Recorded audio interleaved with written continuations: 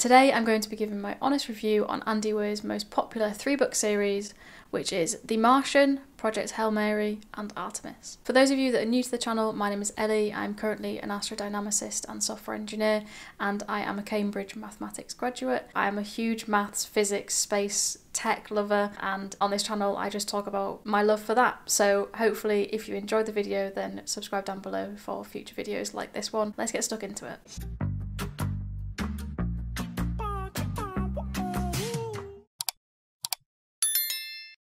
So the reason I actually started reading Andy Weir's books was because a friend of mine recommended his books to me. I had watched the film The Martian already, which in hindsight probably wasn't the best thing to do, but I'd watched the film already. I knew about the book, but I wasn't aware that he had other books in his collection. So I just thought, what better way to start getting back into sci-fi than reading these books? I'm going to be diving into each of the books and my honest opinions on each of them, and I'm going to do it in the order that I read the books. So I actually started with Artemis. So the book is called Artemis and it was released in 2017. So out of the three that I'm reviewing today, it was the second released book. So The Martian was first, then this in 2017, then Project Hail Mary in 2021. So the book itself takes place in the late 2080s, I believe, and it's on Artemis, which is basically the first city on the moon which as like a, a base for the storyline i kind of like that. I thought it was something that was more in reach i guess. By 2080 it would be nice to think that we had a city on on the moon. The story itself follows a protagonist called jasmine or jazz as she's referred to in the book and essentially she is a smuggler. So her main job is a porter but with that comes smuggling and the reason for that is just that she has this big dream of wanting to make money. It's constantly referred to in the book that she just wants to have lots of money or slugs, which is the currency on Artemis. And for this reason, she's quite easily swayed into undertaking illegal activity in order to make money. And essentially, the book itself follows this plot of her having a business deal with somebody in the book. And that's kind of the plot for the rest of the book, is just her doing this business plan, this illegal activity, as it were. So that's the basic plot of the book. I, I don't want to spoil it too much. As a woman in STEM myself, I thought okay, I'm, I'm really excited to read this book because it is out of the three books the only book that has a female protagonist.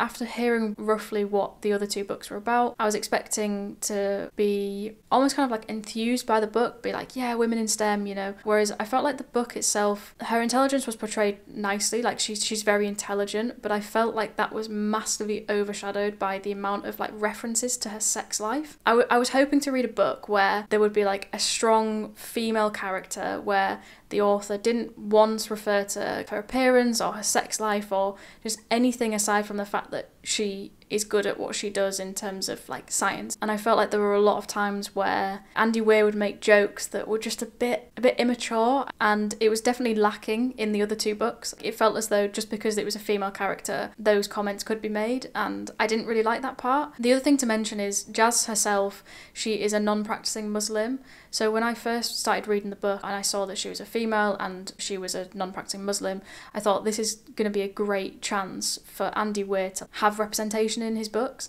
I, I felt like he was slightly ignorant at times in the book, and if you read the book, I'm sure you'll understand what I mean. But that's just in terms of the way that he wrote things, the character development and stuff like that. However, the book itself, like the plot itself, I enjoyed. It was my least favourite out of the three books, I must admit. It, it didn't really have a lot of science that I was enjoying per se. Like it, the, development of the story wasn't as enjoyable to follow as the other two books. I enjoyed the like space and science facts, and I I remember like reading the book and finishing it and thinking, oh, I did, I really enjoyed that. But it wasn't after I read The Martian and Project Hail Mary that I was like, that's actually not as good as I thought it was. So in the book, there is quite a large element towards politics as well, which I did quite enjoy. I liked the start of the book where we learn about why Artemis was there, why it was founded, and interspersed little moon facts, which I quite liked. But yeah, the, the book itself I, I thought was a bit slow to get going. I enjoyed the main plot. I obviously didn't like the references that I mentioned before. If we were to take those away, the storyline itself was, was a good storyline and I did did enjoy it. I would give Artemis three stars and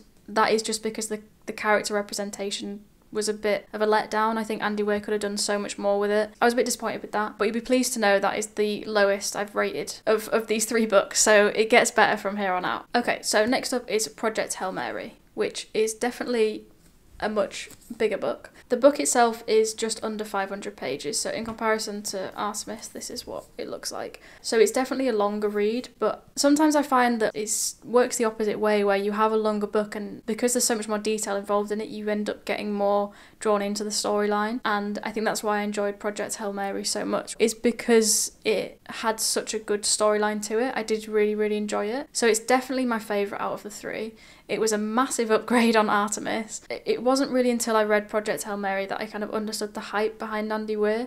I think, as I said with Artemis, I was just a bit disappointed with the book. Then I didn't really know what to expect from Project Hail Mary and I really really enjoyed it. So the book itself is was released in 2021 and in the book we follow a protagonist called Ryland Grace who essentially wakes up on a spaceship without any knowledge of why he's there. He just wakes up and is like, uh am I supposed to be here? Who am I? What am I doing? And essentially, through a series of flashbacks and uh, memory jolts and reasoning in the book, he essentially realizes that he is the only chance for Earth to survive. So for, for humankind to survive. It's a really well written book. The narrative is kind of separated into two parts. You have the here and now where he is on his spaceship and he's undertaking experiments and he's uh, trying to navigate to uh, a certain star, let's say.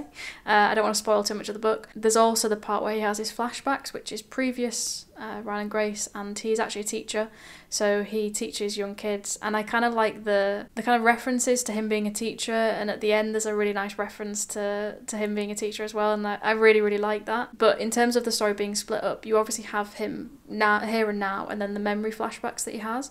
And I, I loved how the progression in the book brought those two together so well and I remember like gasping at one point, being like, oh my gosh, it all makes sense now. And up until that point, you kind of left in suspense of like, what, why on earth is he on this spaceship? Like, what, what is he doing here? And how did he actually get there? That was the biggest thing for me was once I'd understood why he was there, I was so confused with how on earth he got there because the, that the pages were getting kind of thinner towards the end and I was like, what? But yeah, once once I found out why he was there, like how he got there, that was that was quite a big big shock for me in the in the book. I really liked the book. The book itself definitely had more of the maths and physics that I enjoy. The, the spaceship itself, yeah, it works on on a centrifuge essentially, so you learn about the kind of the effects of gravity in a centrifuge, and I really like that side of the maths and physics because that's my background. But what I really liked as well was there was so much reference to biology and chemistry because Ryland Grace himself, without spoiling too much, he has a background in biochemistry, as it were. So I learned a lot about that as well. And, and there were parts in the book where things would happen and you'd be like, why is this happening? And then it's something related to biochemistry, let's say. And then your brain clicks and I'm like, oh my gosh, of course. I haven't done biology or chemistry since I was 16. So yeah, it's quite nice to, to read a book where you kind of get a bit of a refresher on things like evolution, which is quite nice. But I like that because for me, I obviously loved the physics part because I understood that more so, but I loved also learning something new with the with the science side of things, which was nice. If you're not interested in the science side of things, the book itself is a is a really good read. Project Hail Mary itself is written very similar to The Martian, so this is something that Andy Weir gets a lot of complaints about. When you deviate between the different books, so when you, you move between the books, it's very clear that his writing style is is kind of concrete. I finished reading Project Hail Mary with the narrative of, of Ryland Grace and, and learning about him. And then I started reading The Martian, which I'll get onto in a minute. And I was like, this is written exactly the same way. So I think a lot of people complain about, okay, Project Hail Mary is just The Martian.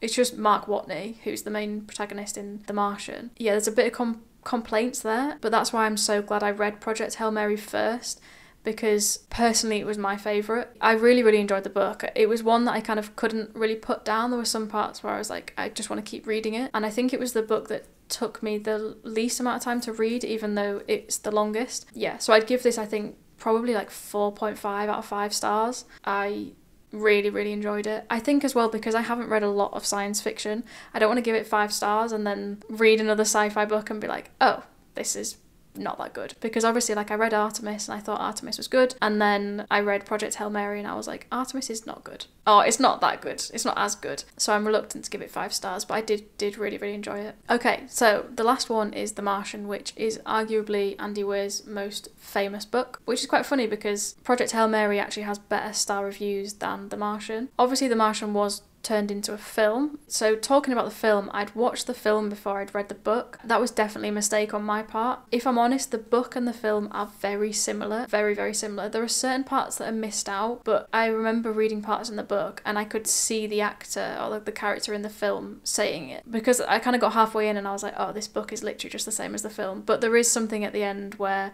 they removed that from the film, so that was kind of nice to add. Something a bit new in the book. But yeah, I do wish I'd read the book before I watched the film because I didn't get as much suspense because I kind of knew what was going to happen. But it was really, really well written and I really enjoyed it. I haven't actually explained the, the plot of the book. The protagonist himself is called Mark Watney, and essentially he is sent on a mission to Mars with a few other astronauts and they're there to just kind of collect samples of the dirt, do experiments, and then they get sent back. And what happens is there is this huge sandstorm, and essentially Mark Watney gets hit in the sandstorm, and every one of the astronauts thinks he's dead. So they leave him on Mars, uh, and they go on their return trip to Earth. And he hasn't actually died. He ends up making it back to kind of the base camp on Mars, which is known as the Hab, and he's he's alive and he has to figure out a way to survive on Mars. He is a botanist and a mechanical engineer, which arguably probably the two most best things that you could be while on Mars. So he has to figure out how to make food, how to make food last, and when he would ever get back to Earth because they send trips to Mars every four years. You'd have to find a way to live for four years in a base camp that's lasts to work for like 30 days, I think it is. So the story itself looks into him uh, as the protagonist and how he survives on Mars and, and what he has to do during the early stages while he's thinking up this plan of how to live, uh, how to survive, should I say. There are satellites obviously orbiting Mars and they have noticed that things are moving on Mars, so they know he's alive.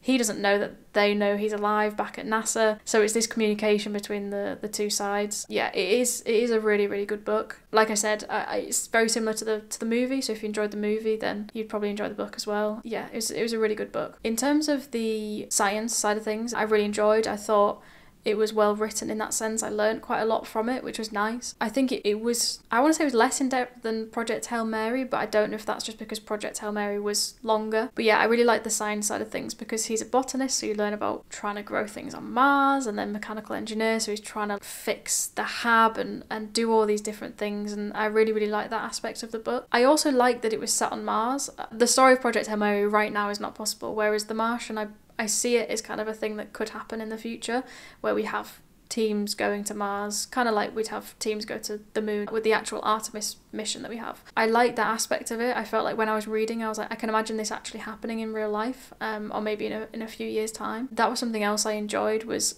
when I was reading the book, it didn't feel too far fetched. And obviously, a lot of people like science fiction because it is crazy ideas that you know science can sort of back up. Whereas this book was something that we kind of know could happen. So I like that aspect, but then I also really liked Project Hail Mary because it was something that isn't currently possible, but the, the thought process behind how things work with what they're given I really liked. So if you're somebody that prefers to read books that are kind of more out there, theories rather than okay, this could happen, Project Hail Mary definitely is more for you. If you like to read books that are probably possible in the future, then The Martian is also probably the book that you'd, that you'd want to read. So yeah, I'd give The Martian probably. Can I do like 0.2? I don't know. Like 4.2 out of 5? I don't want to give it the same as Project Hail Mary because I preferred Project Hail Mary, but it is a really good book. Maybe like 4.3. Again, I don't want to give it 5 stars because I, I think there'll probably be books that I prefer more so. So yeah, that was it. That's the, the rating of Andy Weir's most popular three book collection. So I bought this bundle together actually. So I will put a link to the entire bundle and then the individual books separately in both the comment section and the description section. So if you're interested in reading any of those books, then you can head to those links and, and get them. But yeah, if you enjoyed the video, then please like, subscribe, and comment, and I'll see you all in the next one.